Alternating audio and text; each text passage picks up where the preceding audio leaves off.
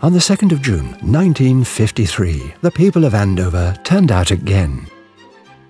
This time to celebrate the coronation of Queen Victoria's great great granddaughter.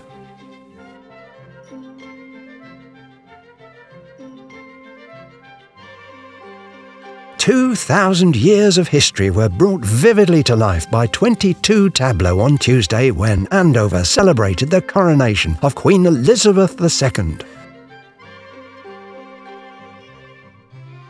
The coronation pageant procession assembled in the grounds of Messrs. Kelly's Directories Limited in Weyhill Road and, led by the Salvation Army Band, passed by way of Millway Road, Milan Road, Charlton Road, Junction Road, and Bridge Street into High Street,